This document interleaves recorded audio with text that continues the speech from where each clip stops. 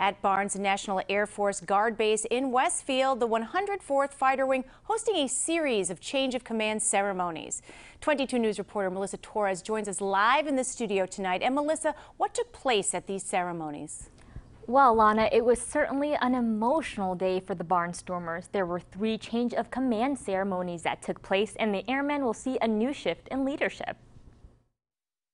I've been in the Air Force 25 years, and so this, I'm going to retire from the uh, military this summer. It was just a really uh, emotional but, uh, but very happy day. Tom Blatting passing over the 104th Fighter Wing commander role to Colonel David Moon. This ceremony marking the change of command and a new shift in leadership. Hoping is that these are becoming more and more dangerous times for the United States, and so he's got a, a tall order uh, and challenge ahead of him in order to continue to bring the wing and to to prepare them for anything that our nation needs us to do.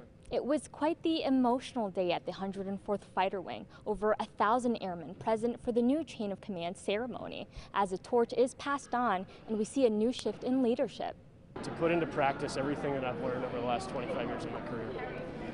And this is, this is the culmination. This is the capstone of 20 years of flying fighter aircraft, of deploying around the world, of carrying and loving all these airmen that are inside of this hangar and making sure that they have everything that they need to be successful. Moon was mentored by Colonel Blatting to assume this role over two years ago. And his vision for the wing is really the, the vision that I have for the wing is to be ready for anything. That when that call comes, that we will answer at the drop of a hat, and we are ready and able to do whatever the country calls on us to do. The new commanders enter their new roles with optimism and hope with a strong team behind them and in order to continue to run the base and their team smoothly during these trying times and with growing tension in the world. Working for you, Melissa Torres, 22 News.